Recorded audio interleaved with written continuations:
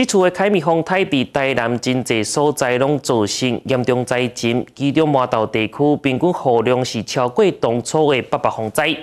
由于贵国文特别整个麻豆地区是拆排水工程，除了听取到民众的意见，也要求到水利署针对到东北西甲鼻头顶地区的水利设施加速办理，减少未来大雨发生的时所带来损害。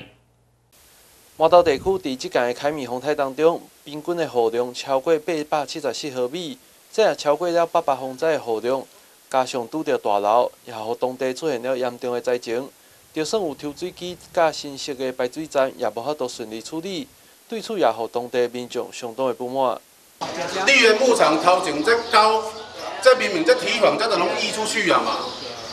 溢出去，你你你，就算讲你这低开，啊你这无滴水共款灌入来，伊嘛是为迄个量温室也共款灌入来啊，所以你早家对小米头啊敢有帮助无帮助嘛？正照你讲，恁爱治水是中央排水规个爱交原本外排遮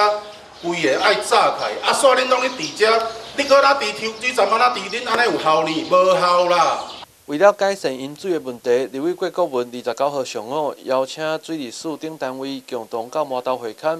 要求加速办理进行中的排水设施。总爷排水也好，啊，北市寮排水也好，我们刚刚是确定整个分那个后面施工的顺序。那现在最优先、最迫切的，一定要用地取得。你用地没有取得的话，你不就不能先行施工？如果能够先行施工的话，民众就会比较安心。那事实上，我们之前跟秋红还有郡县委员所争取到经费，主要的这一个工程的经费都已经到位了。那后续的部分呢，非主要工程的部分，我们希望它陆续补正。那也希望水利署近近期赶快召开会议，来核定其他的相关预算。